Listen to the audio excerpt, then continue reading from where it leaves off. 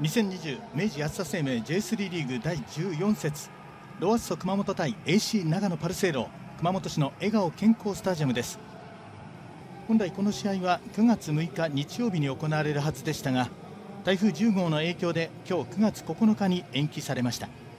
画面向かって右側ホームロアッソ熊本左側白のユニフォーム AC 長野パルセイロ。それではホーム熊本のスターティングメンバーです。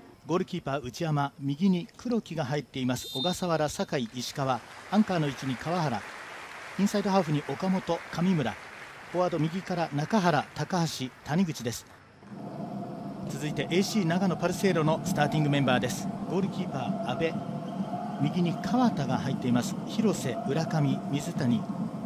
中盤深い位置に坪川右に藤山左に東。そしてフォワード好調の三田。吉田笹生と並びます。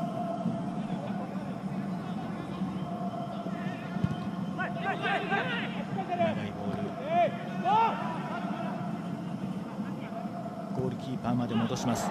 うんこのミスがどうなるか。かわして持ち込む。スルーパス。最後触ったのが熊本の選手のようにも見えましたがゴールキックの指示です。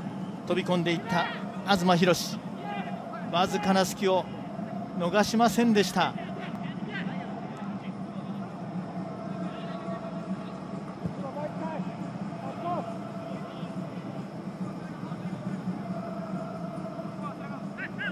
ただそのままずるずるとあ切れ込む長野チャンス。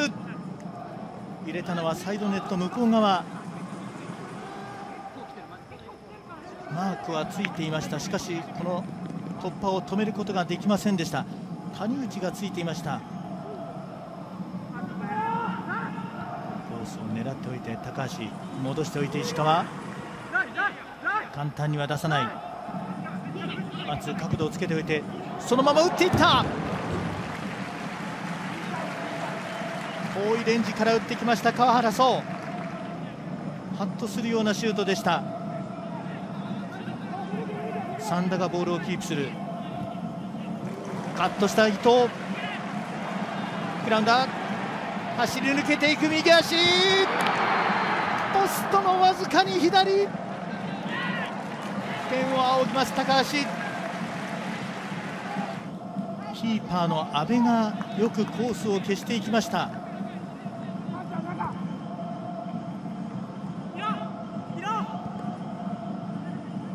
股を抜いて石川。ワンツーで折り返す。グラウンダーわずかに合わないか。高橋が飛び込んでいきました。これがストライカーという飛び込み。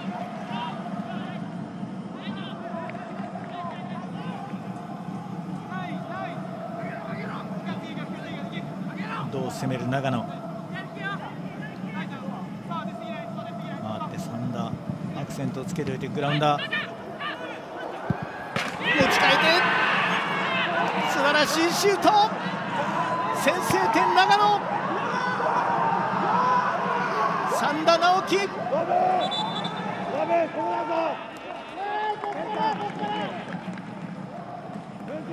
エースの一発。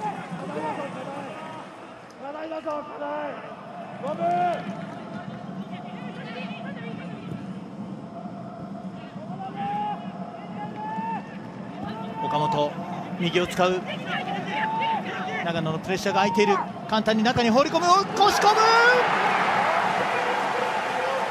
エース谷口。得点王ランキングトップに並ぶ。見事な同点弾。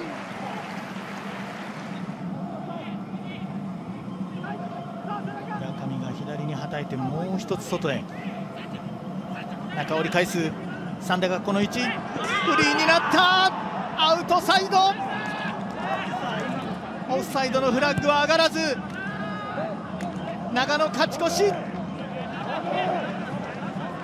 ースルッと抜け出しました。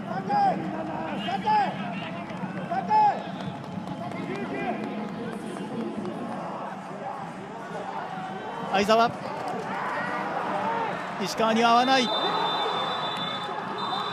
長いホイッスル。今日はアウェイ。見事に追加点を重ねてみせました。2対1熊本はホームで初の黒星となりました。